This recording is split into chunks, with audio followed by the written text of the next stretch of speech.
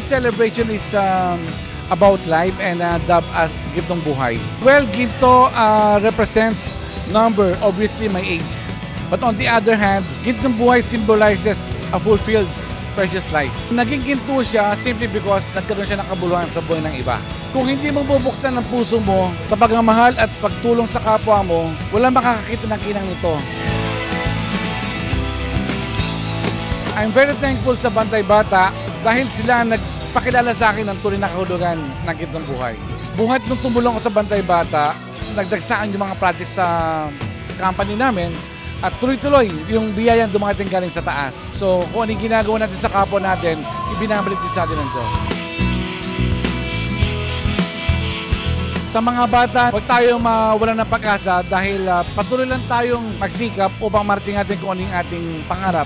Together, we can change lives for the better.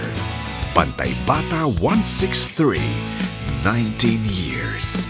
You can pass on the hope. Ipasa ang pag-asa.